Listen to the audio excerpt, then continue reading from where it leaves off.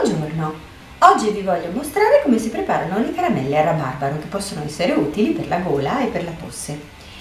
Allora, prima di tutto vi serviranno 40 g di eh, radice di rabarbaro. Questa è radice che io ho raccolto dalle mie piante di rabarbaro l'anno scorso e l'ho tagliata a pezzetti e fatta seccare nell'essiccatore. Per chi non avesse le piante di rabarbaro penso che la vendano anche in erboristeria poi qui eh, abbiamo 500-600 eh, grammi di acqua, può anche darsi che ne serva un pochino di più, che metterò a bollire insieme al rabarbaro. Infine abbiamo a parte 250 grammi di zucchero nel quale io ho già messo 50 grammi di glucosio liquido. Il glucosio liquido lo metto sempre perché aiuta a mantenere poi la, la durezza delle caramelle, aiuta a far sì che si sciolgano, si sciolgano un po' meno e inoltre fa lavorare meglio lo zucchero, fa evitare che si cristallizzi.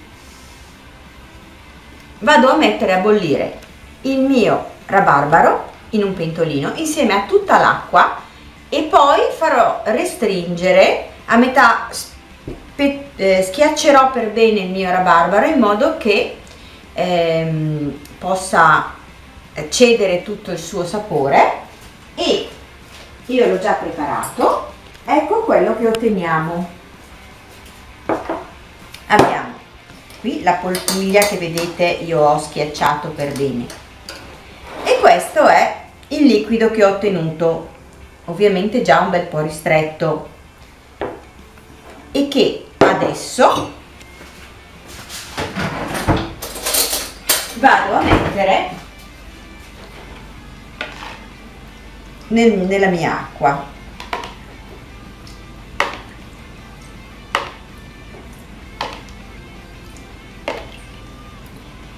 ne servono 6 cucchiai quindi questo vi avanza potete utilizzarlo per la prossima volta. E tenetelo in frigo e consumatelo alla svelta.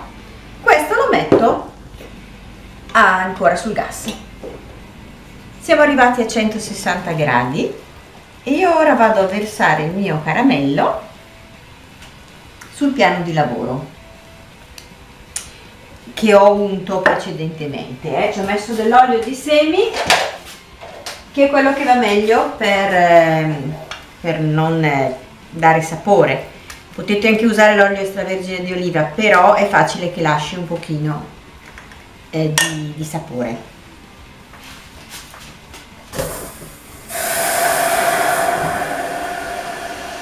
Ovviamente ora andrà lasciato raffreddare un po' e poi tagliato a pezzettini come si fa con le solite caramelle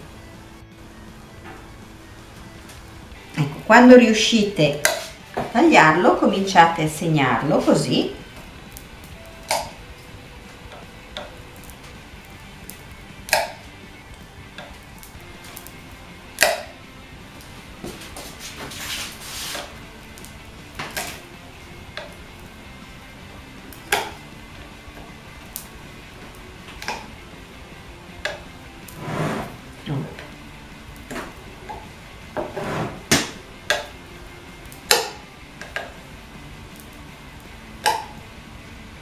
poi andrà staccato e potrete mangiare le vostre caramelle.